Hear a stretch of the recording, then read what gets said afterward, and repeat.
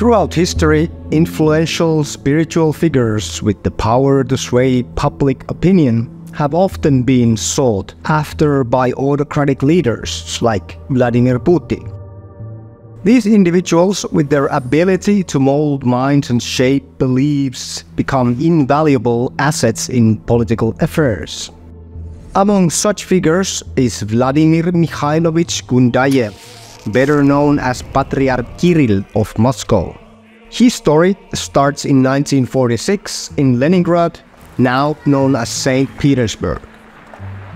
From a young age, Kirill was drawn to religious pursuits, leading to his rapid rise within the Russian Orthodox Church, an institution deeply associated with the Russian state. In the midst of the Soviet era, Kirill's path took a turn and his journey was about to intersect with the world of international politics and espionage. In 1971, the 24 year old Gundayev was granted an unusual opportunity for a clergyman of his age. He was sent to Geneva to represent the Russian Orthodox Church at the World Council of Churches. This was a strong sign of his rising status within the church. Swiss newspaper Tages Anzeiger, who had gained access to declassified files of the Swiss Federal Police from 1969 to 1989 made a starting claim, while in Geneva, Gundayev worked for the Soviet Union's intelligence agency, the KGB, under the alias Mikhailov. His alleged mission to influence the World Council of Churches in a manner favorable to the Soviet Union, including efforts to soften criticism of the USSR's religious policies and to gather intelligence on the Council's members. Sources speaking anonymously to the newspapers described interactions with Kirill that felt information driven despite his friendly demeanor. These accounts painted a picture of a man who was skilled at managing both his religious responsibilities and collecting intelligence. The Russian Orthodox Church remained silent on the matter, neither confirming nor denying Kirill's alleged espionage activities. Kirill himself only stated that he has special feelings for Switzerland, and his nephew Mikhail Gundayev insisted that his uncle was not a KGB agent. Look, if Kirill's nephew said so, then it must be true. However, the investigation by Switzerland's Sonntag Zeitung and Le Matin Dimanche seemed to confirm the initial claims. Kirill, a figure of intelligence, charisma, and ambition, appeared to be more than just a religious leader. His unique qualities made him an ideal candidate for a covert agent of the KGB, or as his nephew might put it, a servant of God with a hidden agenda. After the return to the USSR, he quickly advanced up the church hierarchy.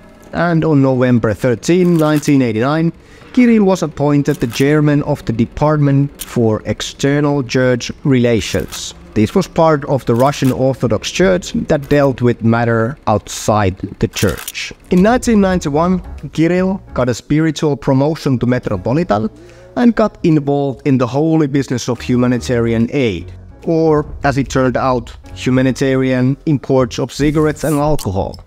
As journalists of the newspaper Kommersant and Moskovsky Komsomolets accused Kirill of profiteering and abusing the privilege of duty-free importation of cigarettes granted to the church and dubbed him Tobacco Metropolitan. It seems Kirill missed the Sunday school lesson where they said, Thou shalt not deal in duty free smokes, despite the fact that orthodoxy considers smoking to be a sin. By 2004, a sociologist Nikolai Mitrokhin estimated Kirill's cigarette crusade to profit an astounding $1.5 billion and at $4 billion by the Moscow News in 2006. The duty-free importation of cigarettes granted to the church ended in 1997, and in his 2002 interview with Izvestia, Kirill called the allegations about his profiteering as mere political smoke rings. See what I did there? Smoke rings? No? Okay. In 2012, Kirill faced controversy over a Swiss Breguet watch valued at over $30,000. Initially denying he ever wore it, Kirill later admitted to owning the watch after a photo suggested otherwise. This led to scrutiny over his wristwear in various photographs. One image on his official website even showed the watch airbrushed out, leaving its reflection on a glossy surface. The Russian church admitted to the photo manipulation and called it an unauthorized initiative of a junior employee. In 2015, he sent his representatives to deliver a letter to Russian servicemen at Russia's Khmeimim air base in Syria. The letter claimed that Russian troops in Syria are to deliver peace and love. Patriarch Kirill is supporting the war in fact. Kirill, in an Orwellian style, declared Russia's war crimes and bombings of civilians in Syria as a just struggle.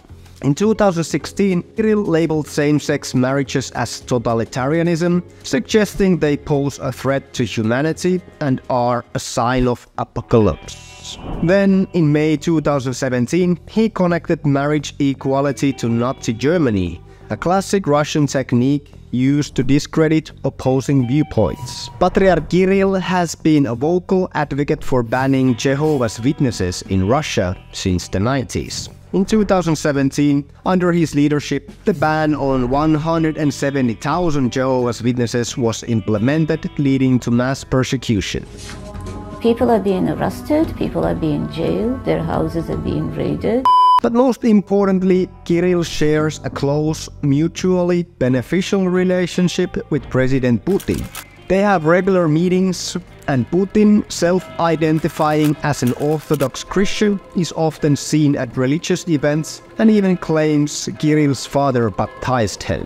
Так вот, меня крестили в Ленинграде, сегодня в Петербурге, в Преображенском соборе. И я ему говорю, знаете что, похоже, ваш отец меня крестил. In return for Putin's endorsement, Kirill has consistently supported him. He described his rule as a miracle from God, which makes you wonder about the definition of miracle in the dictionary of the Russian Orthodox Church. It means we can't talk about those kinds of things. Okay? He has backed his re elections by conducting special honoring prayer ceremonies, as well as supporting foreign policy actions like the intervention in Syria. Despite Russia's invasion in Donbass and Russia's occupation of Crimea, during which Putin threatened to use nuclear weapons in case of resistance to the Russians, Kirill said that Russia poses no military threat to absolutely anyone. Putin returned the favor by proposing him as a peace negotiator for Ukraine because why not have a priest slash KGB agent as a mediator of your war crimes? Kirill's support extended to the Russian invasion of Ukraine in 2022. He aligned with Russian state narratives and endorsed military actions. He portrayed the conflict as a cultural war between traditionalist Russia and a liberal and decadent West criticizing Western values like consumerism and homosexuality. Because you know that nothing says traditional values like tanks and troops and guns and weapons and bombs.